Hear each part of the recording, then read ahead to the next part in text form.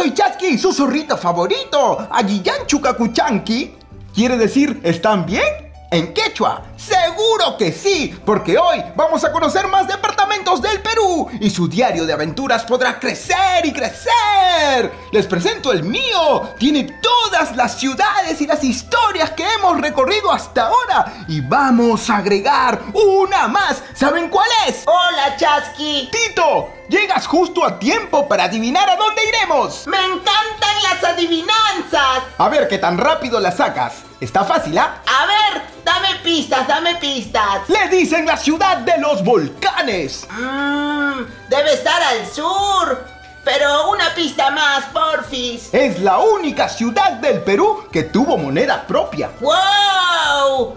Eso no sabía de ningún lugar, pero no me ayudó a adivinar nada, Chasqui. Con esta la sacas. A ver. Le dicen la ciudad blanca. Mmm ya!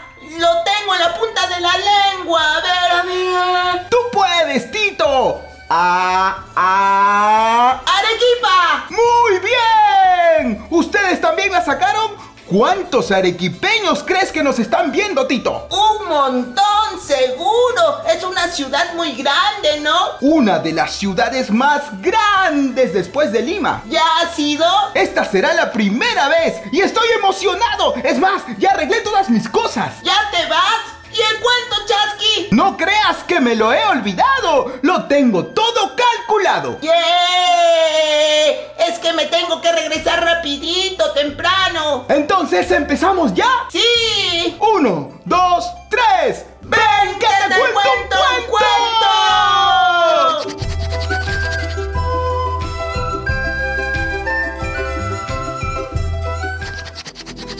Dice la leyenda que hace muchísimo tiempo en Arequipa empezó a correr el rumor que dentro de una gran cueva en un río subterráneo se encontraba un tesoro.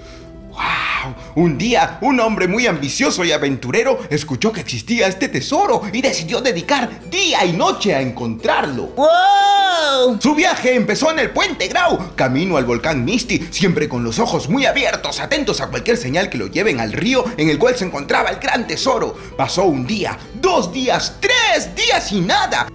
Así de repente llegó hasta las partes más altas del valle del Misty, pero no encontró ningún río subterráneo. Entonces decidió regresar a su casa. En el camino pensó nuevas ideas. Hmm, quizás si trabajaba con los agricultores, ellos le podrían dar información sobre ríos cercanos donde saquen agua. Pero él estaba buscando un río subterráneo. ¿No tendría que excavar para eso? Por eso mismo, al día siguiente se despertó muy temprano y fue a las partes altas de la montaña Uchumayo, donde hay mucha agricultura. Ahí los campesinos le dijeron que el agua salía de la nieve del volcán Chachani. Entonces fue caminando hacia allá siguiendo los rastros de agua buscando el famoso río subterráneo. ¿Qué?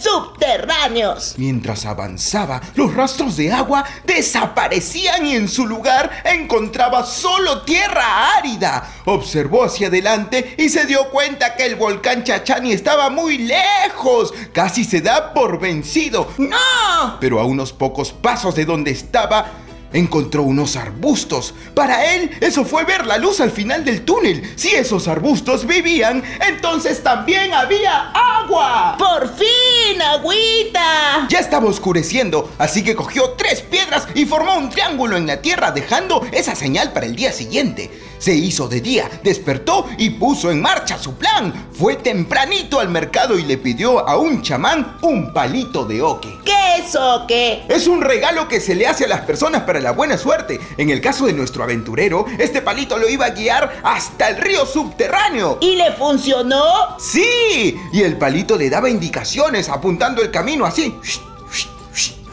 Funcionó hasta llegar a puertas del volcán Chachani. Ahí fue donde el hombre pensó que llegó a su destino, pero otra vez se hizo de noche y decidió dejar una marca en forma de triángulo para no olvidarse. ¡Ah! A la mañana siguiente cogió sus herramientas y caminó rápidamente hacia el triángulo. Al encontrarlo, hizo un hueco tan profundo que llegó al río que tanto buscaba. No podía contener su emoción. Su aventura recién había empezado. Caminó toda la noche hasta encontrar la cueva. ¡Yes! Las horas pasaban, pero él no se daba cuenta. Su entusiasmo lo guiaba a seguir y seguir, cuando de repente oye detrás suyo un ruido muy fuerte. Como un golpe. Voltea y se da cuenta ¡Ay! Que estaba oscuro. No podía ver el camino de regreso. Y no solo eso, sino que la tierra empezó a caer y quedó encerrado. ¡Uy! ¡Qué miedo! Y estaba solito. Por eso al instante sacó una lámpara para hacerle compañía y siguió avanzando. Ahora podía observar claramente el camino. Habían huesos de años de antigüedad. El aventurero estaba asustado pero tenía claro que no iba a parar hasta encontrar el tesoro. Mientras más avanzaba la cueva, se hacía más grande. Empezaba a ver joyas, asientos de oro, asientos de plata y anillos con piedras preciosas. En un momento observa el rostro de Cristo dibujado. La lámpara empezó a perder intensidad hasta que se apagó. De pronto, entre todas las cosas encontró una lámpara de oro que iluminó toda la cueva. ¡Wow! De pronto, la tierra comenzó a temblar.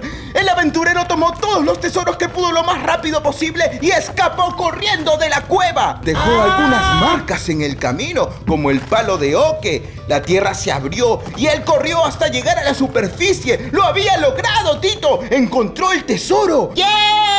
Estaba muy cansado. Uf. Así que descansó debajo de un árbol esperando contemplar la belleza de su tesoro. Pero sin dejarle un segundo para respirar, estas joyas empezaron a desaparecer. ¡Lo perdió todo! ¡Oh, no! Cuando regresó al pueblo de los agricultores les contó lo que había sucedido, a lo que ellos respondieron que esas joyas son y serán del volcán Chachani. El aventurero no hizo más preguntas, comprendió que esos tesoros no le pertenecían, pero con él se quedaba un tesoro más grande, todo el viaje y aprendizaje que tuvo en esta aventura. ¡Wow! ¿Cuántas cosas pasó al aventurero? Imagínate, se requiere mucha valentía y perseverancia para buscar un tesoro. Y muchas lámparas. ¡Ja! ¡Sí! ¡Muchas lámparas! Lo importante es no darse por vencido. Entonces, ¿ese tesoro sigue en el volcán, Chasqui? Así parece. ¿Tú vas a ir, Chasqui?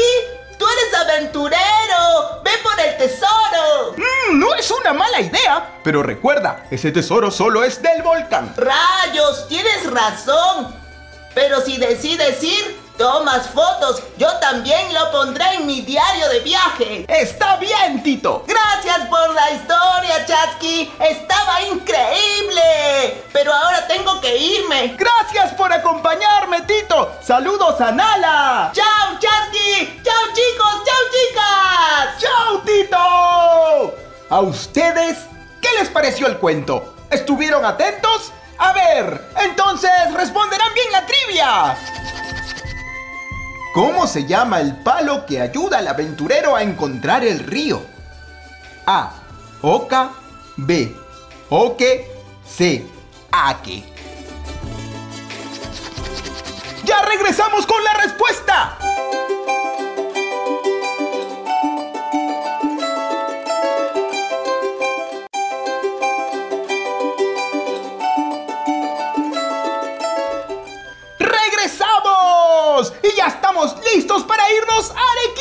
Pero antes, la respuesta de la trivia.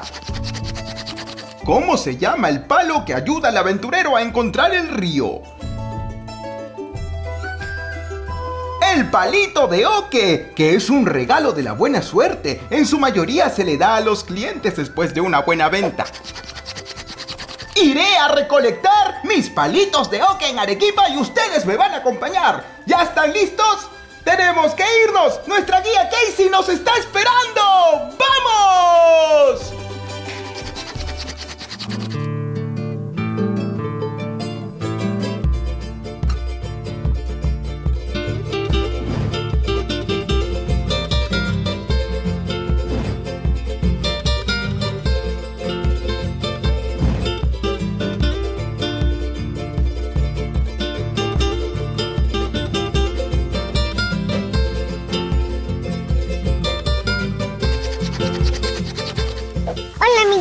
Hola amiguitos, ¿cómo están? Yo soy Casey. Yo vivo aquí en Arequipa y les quiero presentar mi barrio, que es muy bonito.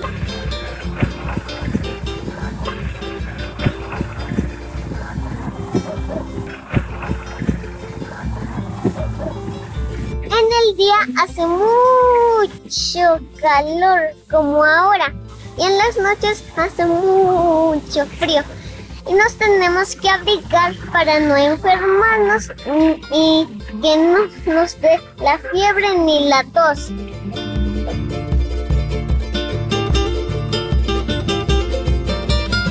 Hoy les voy a contar una historia de cómo nació el volcán Misty. Hace mucho, mucho tiempo mm, era un joven llamado Mistitupa, un jefe de agricultores de pescadores y todo eso.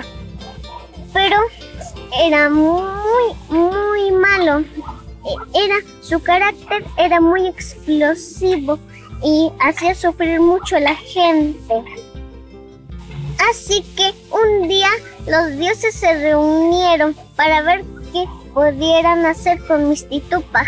El dios del fuego escuchó atentamente todo lo que decían los dioses y subió a la tierra para darle una lección a Mistitupa y le encontró.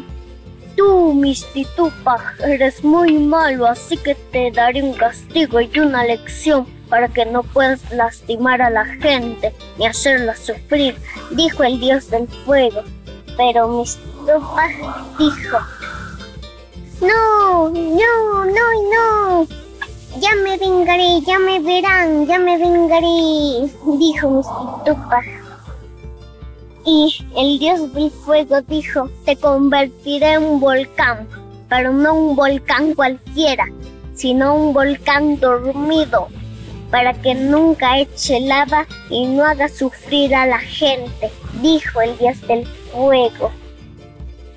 Y Así es como nació el volcán Misty de Arequipa.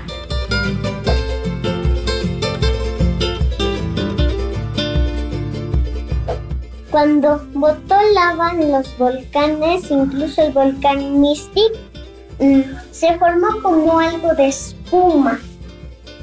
Luego, esa espuma se fue secando por el sol. Y luego se formó casi como una piedra, pero no era una piedra cualquiera, sino era de color blanco, como en este caso. Y algunos lo llamaron sillar y lo tallaron y es trabajo de muchas personas y es de diferentes maneras tallado mm, como soldaditos en la iglesia y así. Y es por eso que a nuestra ciudad le llaman Ciudad Blanca.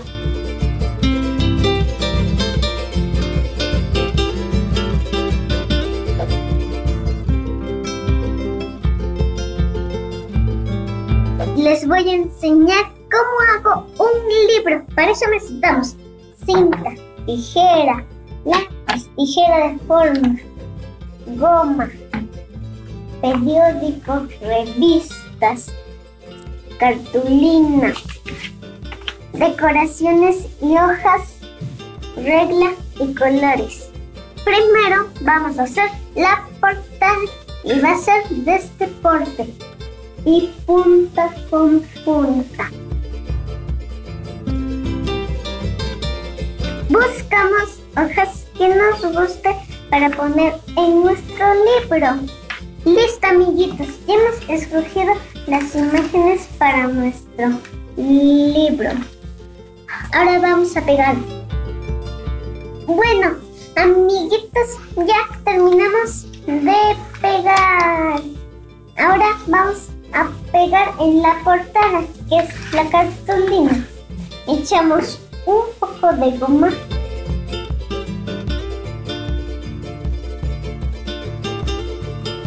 y pegamos. Ponemos un poco de cinta.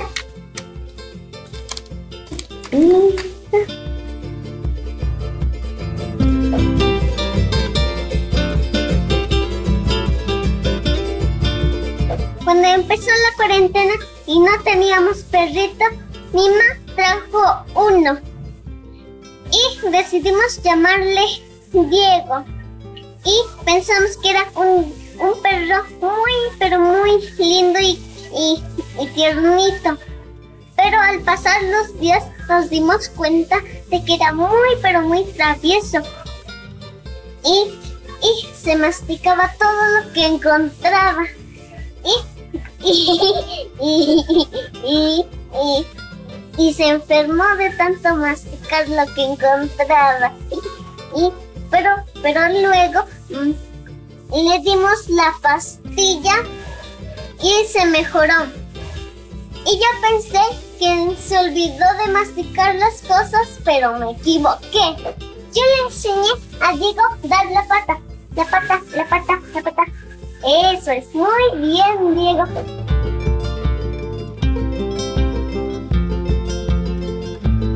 me gustaría ser policía y astronauta. Me imagino el futuro, que el coronavirus se acabe, que pueda ir al jardín y, y que pueda visitar a mis amiguitas, a mis amiguitos.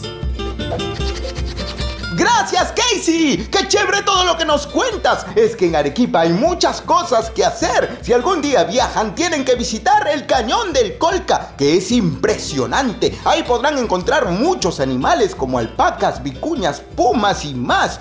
Si eres una persona que le encanta la aventura como a mí, tienes que viajar. Si te gustan los paisajes, también es una gran ciudad ya que está rodeada de cuatro volcanes, Ampato, Chanchani, Misti y Pichu Pichu. El más conocido es el volcán Misti, que está ubicado cerca del Valle Chili. Algunas leyendas dicen que este volcán explotó y dejó sin hogar a muchas comunidades. Los ciudadanos estaban tan molestos que le quitaron su nombre y le decían el volcán sin nombre. Felizmente ahora ya no están tan molestos y le decimos Misti, que en quechua significa hombre de raza blanca. ¿Sabían además que es uno de los 10 volcanes potencialmente activos de la cordillera de los Andes?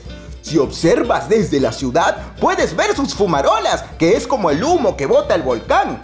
Hay muchas cosas que me encantaría contarles de Arequipa, pero es mejor que ustedes mismos la conozcan. Les prometo que no se arrepentirán.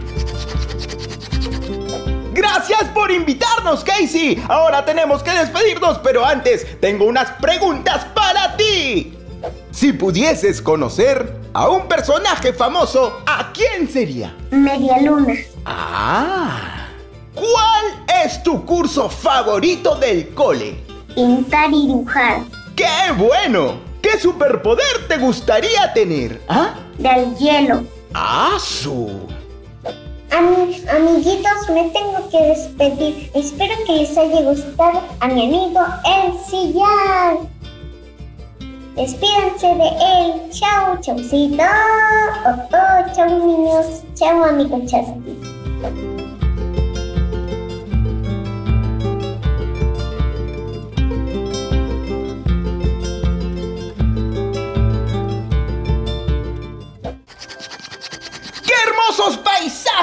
Arequipa! Gracias Casey por compartir tu hermosa ciudad con nosotros. Me encantaría quedarme un rato más, pero ya es hora de pelis. Antes, tenemos una pregunta que responder. ¿Cómo se llama el cañón más conocido de Arequipa? A. Cañón Misty. B. Cañón sin nombre. C. Cañón del Colca. ¡Ya regresamos con la respuesta!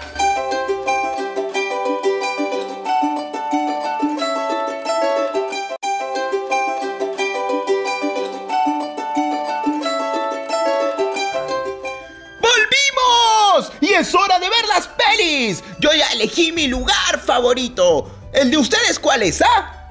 ¿Verdad? Nos falta la respuesta de la trivia. Por poco y lo olvido. ¿Cómo se llama el cañón más conocido de Arequipa? Es el cañón del Colca. Si van a Arequipa tienen que pasar por ahí. De todas formas, les encantarán los paisajes y todos los animales que pueden encontrar. Ahora sí, mucho silencio.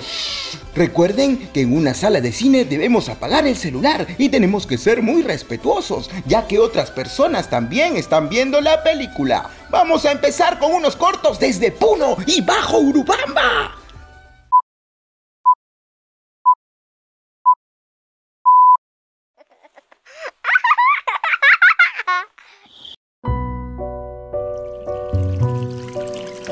Pesque.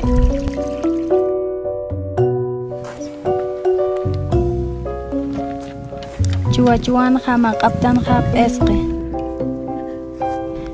kha puno suyuna manq'apawa paitata. payt'ata kha yuri wasiwa titiqaqa kamayana, persa waran kanaira maranakana. Uthiwa hiwranakaha hangko cupika ch'iyara. Wali ch'amani ch'ullqi manqawa warawaranakaqa churapqhitu aymaranakaru hiwraqa manqasiwa aka urupanja wali waqt'apqhitu haqinakaqa alaqpacharu apapqhi hiwasaqa yapuchaptanwa yapunakasana. Kunawara siteja apaptanja chuyasiñatakiwa. P'esqeqa sariwa milki yanapata wakara kuta ch'awsuta taqpachaniruwa mosqa samanaka wali hiltayisto wali ch'ullqinchisto ratu kipinpuniwa prêt tôt.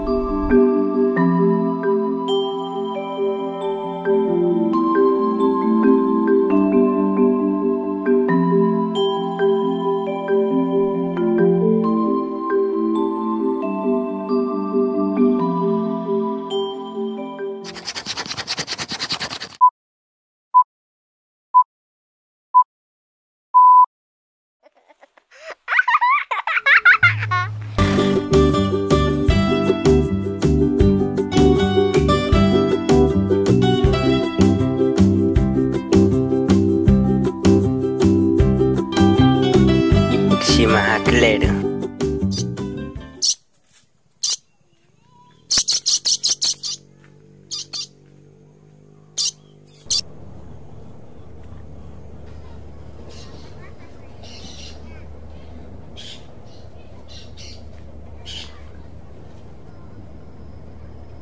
Wawicha yinenerinu himata shimahatachinu. Muchikawa wapachini mchira hapu kamrijanatialuna koucho hapi hawachanitka koucho hapi yomuwaihi waneyatkana hawachalu hiheri mkata shimahatkota kluhohnekokta hawaklu papkokokta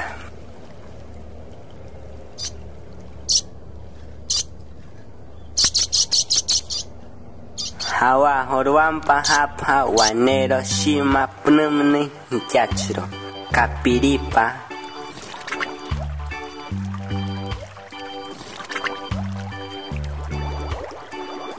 patle kayonalo hachihiri hawa kolio seinikocha wanero shima kiobikolo walanwa homa putsote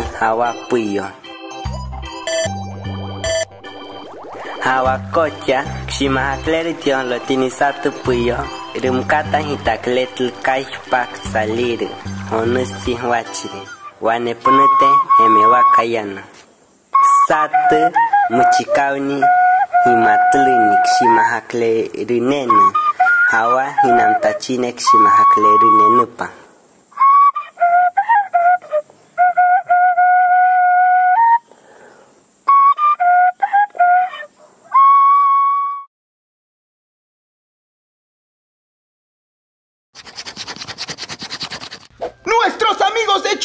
en Puno nos contaron un poco del valor nutritivo de la quinoa. Es el superalimento. Yo como quinoa casi todos los días. Es deliciosa. Mmm, otro excelente alimento alto en omega, una vitamina muy importante para nosotros, es el pescado. Y nuestros amigos Gine nos enseñaron cuáles son los que se pueden comer y cuáles no. ¿A ustedes les gusta la quinoa o el pescado? Mmm, yo creo que hoy voy a comer quinoa con pescado. Seguro que tienen muchas formas de prepararlo, ¿no? Ahora nos debemos ir. Espero que les haya gustado la aventura de hoy. Nos vemos en el siguiente capítulo para más aventuras alrededor del Perú en los cuentos de Chasqui. ¡Adiós!